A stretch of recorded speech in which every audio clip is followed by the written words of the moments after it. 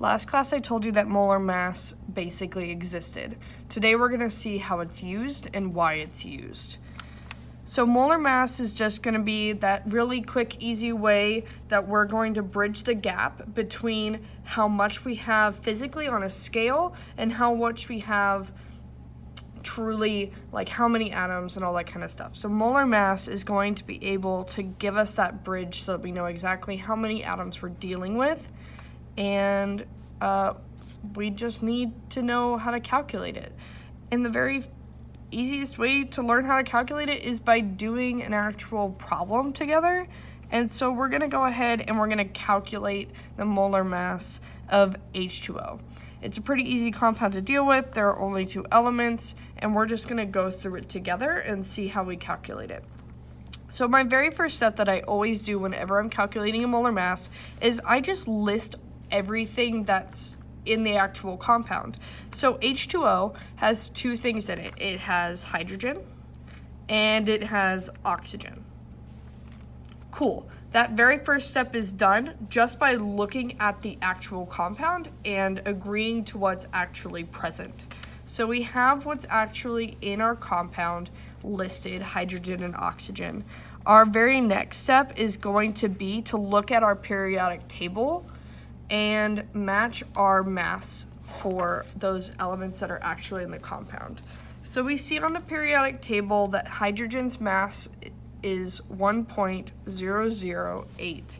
So on my actual thing next to hydrogen, I'll write 1.008. I have to do the same thing for oxygen now, so I'm going to come over to oxygen, and I'm going to see that it is 15.999. So then next to oxygen, I will write that number, 15.999.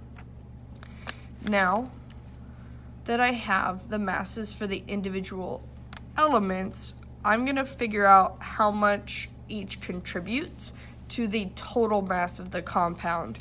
I do this by multiplying each atom's mass by the actual number of that element that's in the compound. Okay, so hydrogen, remember that those subscripts are counts. So hydrogen, we see that we have two hydrogens present in H2O. So I'm gonna multiply hydrogen's mass by two. And I went ahead and did that calculation there. Then I need to look at oxygen, and figure out how many times I need to multiply oxygen by.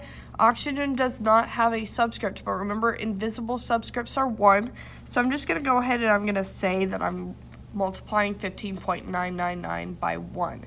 It doesn't actually change my number, but the good thing about writing this out is that whenever I'm looking back at this problem, I don't end up thinking that I accidentally skipped a step or um, I know when I messed up, when I uh, rewrote this, I missed a number or something like that.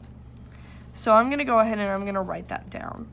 Once I have each individual atom's uh, total mass contributed written out, I'm going to go ahead and add those resultant numbers together, and I'm going to attach its appropriate unit. Molar mass's unit is grams per mole, and it could also be written shorthand. Remember, scientists very lazy. So uh, grams would be shortened to just G, and mole would, uh, we took off a whole letter, and we just shortened it to M-O-L when I did that, I just went ahead and rewrote everything and I was lazy again.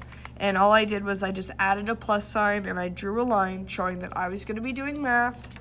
And then I just added those together and when I added those together, I ended up with the number 18.015 grams per mole, and I needed to be careful because I am finding the molar mass of H2O that I told myself in the actual unit that this was the molar mass of H2O. The reason that you want to do that, not just leave it out, is because you're going to be calculating molar masses all over the place. And you don't want to have to recalculate something that you've already calculated just because you didn't tell yourself that you had already done it.